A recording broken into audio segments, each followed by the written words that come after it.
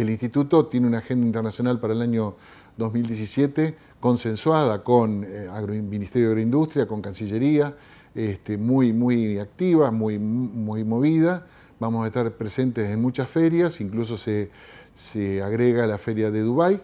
eh, que tuvimos presencia hace unos años y ahora volvemos a esa feria, una feria en Rusia en, en febrero y luego, por supuesto, la feria de Shanghái y, este año hay un par de ferias más, además de la gran feria que se realiza este año en Colonia, en Alemania, que es Anuga.